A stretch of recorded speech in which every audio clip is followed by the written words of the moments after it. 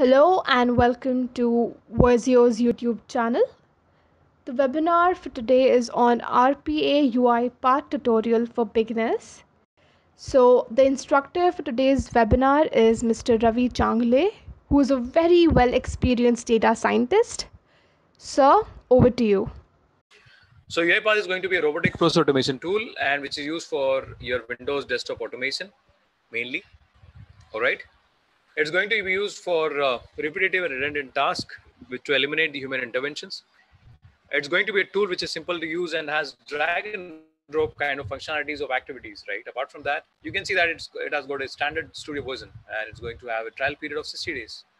The best part of the UiPath is basically that it's going to have the community edition, which is free for lifetime and has most of the functionalities of a studio version. The only thing is that only few of them are not going to work out. So for the development front, you have to just have a paid service. All right, so we can come to that cost and all that, but later on, let's work out on UiPath and see how exactly it works out. Installations are already done. Let's see now what exactly are the part of studies when we talk about UiPath. So we need to discuss something on the components of UiPath. The major components of UiPath would be activities and sequences. You won't understand this from a slider. So what I do is I just right away come to my tool and show you that how exactly you can see that components over there. So let me come up here, guys. Once again, I'm going to share the screen and that screen talks about the framework which I'm going to have. And let's uh, get into a particular blank process. So I'm just opening up my blank process out here and let me just create it.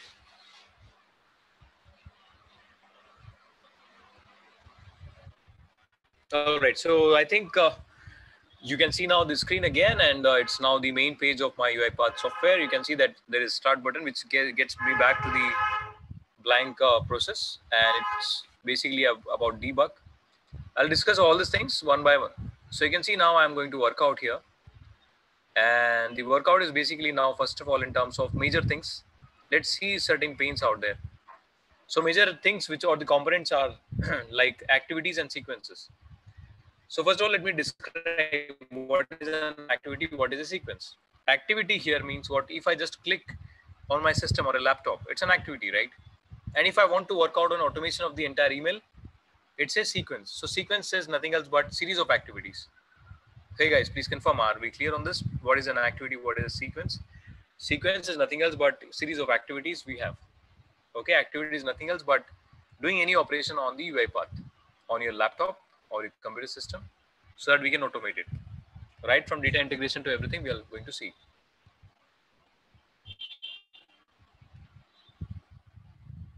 All right.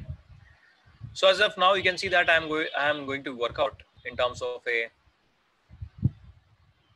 you know there is a pane here that is activity pane. so we have got certain workouts here. App integrations, we can have multiple applications they can integrate. We can have orchestrator. Orchestrator is going to be a publishing tool for me so i can publish this workout with the websites. On the websites there would be programming interface system ui automation. We can have multiple user events and i can automate that. There would be workflow. So we'll be seeing all these things one by one. So let me avoid this annotation now. Uh, let me erase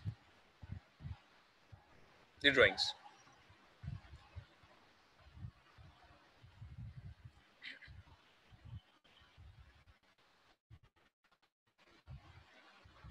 Now you can see I'm coming to this uh, activities which are available. So app integration is like I can handle my Excel file, CSV file. I can automate them. I can work out on a mailer also. I can automate my mail transactions. Once I come to CSV, you can see I can append the data to CSV, read the CSV files, write the CSV files. I can work out on Excel and you can see that there are huge things we can work out with Excel. I hope you know that what is Excel file. So it carries the information of your data sets. You can read the cells, you can create the formula, you can read the formula, you can create the columns, you can work out on them.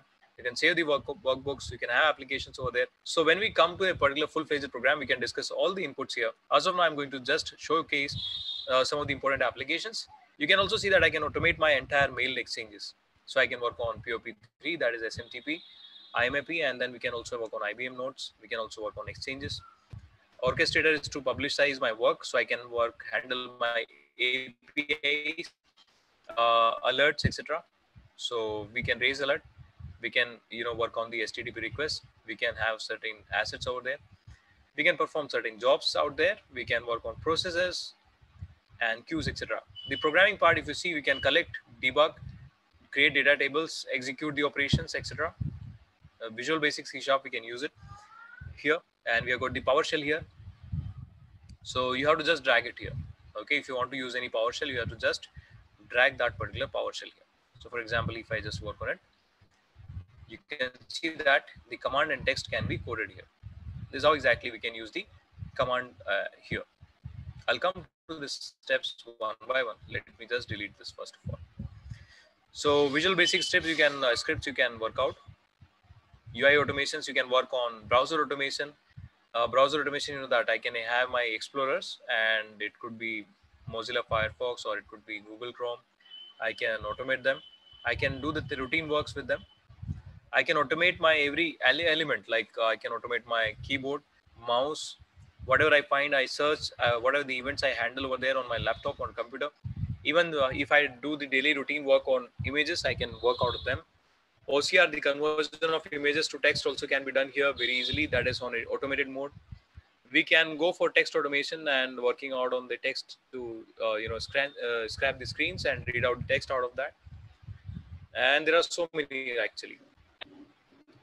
So if you go on discussing, I will, I'll take at least one month to discuss this. Third, you know, basically 20 to 24 hours are required to run, uh, learn all the things. So I'm not discussing all the things. Today I'm going to discuss some of the basic applications only. So would like to have your uh, workout for the same and let's have certain logic building, etc. So this particular activity pane is available. The pane is basically to create certain activities. The only thing is that you have got another pane here. You can see that it's basically main and this will be working uh, environment for us. All right. So this is basically the working environment. And apart from that, you have got a ribbon out there which carries new files, save, saving of this particular templates, uh, working on start button. So if I have created a program, it will start once I click it. I can record my screen. You can see that I can record my basic uh, workouts here. I can uh, record my working on desktop. I can record my website. I can record uh, website uh, logins. I can record my workout with images, native Citrix, etc. Even you can screen scrap yourself, so your your laptop. Data scrapping can be done, and uh, have to work on I'm going back to this. Let me cancel it right now. So you can also remove the unused uh, variables. You can create variables here. I'll show you how to create variables. You can export the things to the Excel and you can even publicize this. We'll see some use cases and then we can go, go about it. All right. So native Citrix is a kind of a, you know, uh, workout wherein you are going to handle the payments and all. So that also can be automated out there. You can have some connectivities with native Citrix. It's also going to help you out with the streaming, actually live streaming. So you can manage all these transactions. So can I go ahead with uh, the workouts here? And with that, we can now begin the session on UiPath.